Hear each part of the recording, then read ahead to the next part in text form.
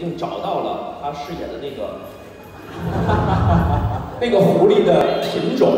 跟大家介绍一下啊，网友也是脑洞大开，这个叫藏狐，真的真的不开玩笑，不是 P 的啊，不是特别把眼睛 P 小了，它就是这个品种，叫藏狐。你现在你是第一次看，你是第一次看到这样的照片，对吗？不是的啊，因为我们当时就按照这个